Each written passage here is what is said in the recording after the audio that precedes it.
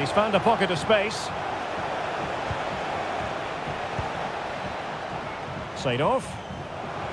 Seydorf!